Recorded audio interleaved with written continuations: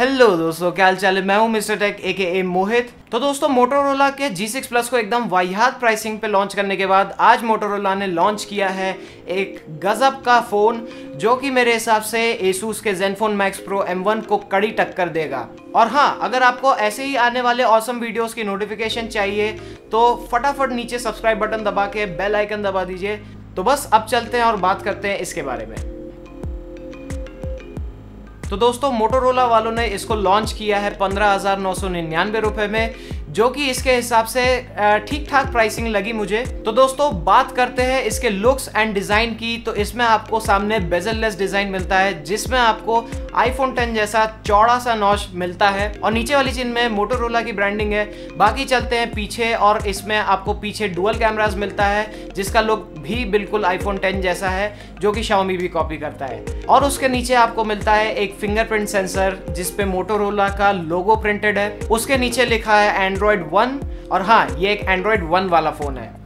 और अब बात करते हैं इसके स्पेसिफिकेशंस की। शुरुआत करते हैं एंड्रॉयड से तो इसमें आपको मिलता है एंड्रॉयड 8.1 पॉइंट ओरियो एंड्रॉयड 1 के सपोर्ट के साथ, जिससे आपको रेगुलरली मंथली सिक्योरिटी अपडेट्स मिलते रहेंगे। और साथ में आपको मोटोरोला ने प्रॉमिस किया है कि जल्द ही आपको एंड्रॉयड पाई भी इसमें मिलने वाला है। फिर बढ़ते हैं डिस्प्ले की ओर। तो इसमें आपको मिलता है 6.2 इंचेस का full H D plus I P S L C D वाला डिस्प्ले जो कि आता है एक नॉच के साथ, जिसके वजह से इसका एस्पेक्ट रेशियो बन जाता है 19 रेशियो 9 और अब हम बात करते हैं इसके परफॉर्मेंस की तो इसमें आपको मिलता है क्वालकॉम का स्नैपड्रैगन 636 प्रोसेसर जो कि एक ऑक्टोकोर प्रोसेसर है और इसकी सारी कोर्स क्रायो 260 के आर्किटेक्चर पे बेस्ड है और काम करती है 1.8 पॉइंट पे।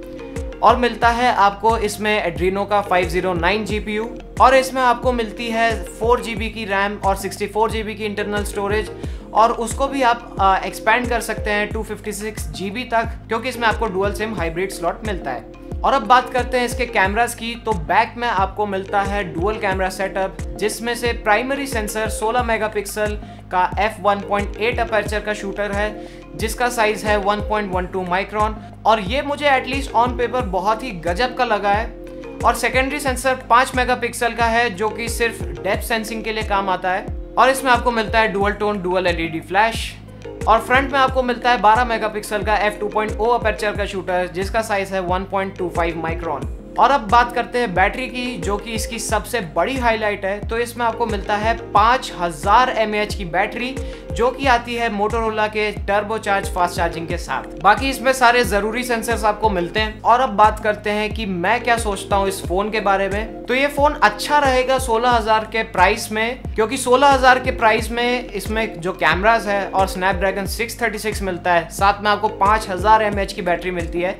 तो ये बहुत अच्छी बात है। तो मेरे हिसाब से ये एक बैलेंस्ड फ़ोन है। बाकी ये अभी अभी लॉन्च हुआ है तो इसकी पूरी स्पेक्स पता नहीं चली है मुझे। तो मैं अभी इतना कुछ कह नहीं सकता हूँ इस फ़ोन के बारे में कि ये कैसा रहेगा।